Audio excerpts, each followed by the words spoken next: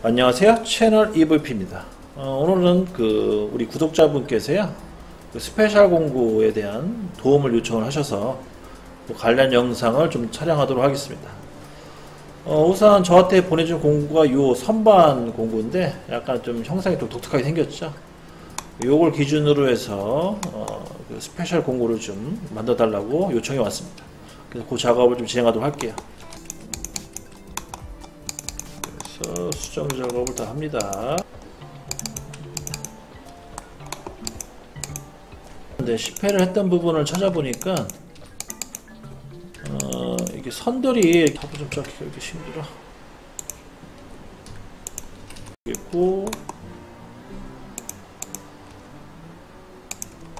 다 됐으면 이제 캐드에서 이제 작업은 끝난 거예요. 1차 작업 끝내주시고 불러와 주시고 그 다음에 위치까지 잡아줘야겠네요. 위치는 형태를 선반으로 기본값 잡아주시고 그 다음에 가공 경로에 선반 공구 관리 주시면 이제 동기화가 된 거죠.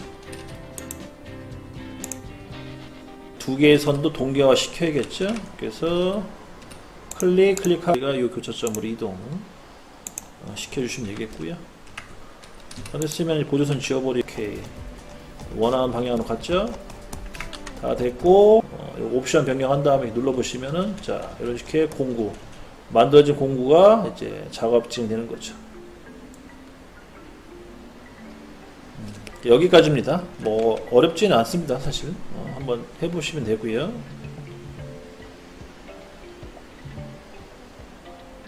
이렇게 해서 이제 영상은 이렇게 해서 이제 마- 완료가 되고요. 어, 지금 보니까 X5 버전으로 보내주셔가지고 제가 이제 X7으로 했는데 이 X7이 X5에 될지는 모르겠어요. 그래서 하여튼간 요거 어, 파일이랑 캐드 파일을 넘겨드릴 테니까 요거 가지고 한번 연습을 해보시기 바랍니다. 자, 여기까지 해서 어, 영상 촬영 마치도록 할게요.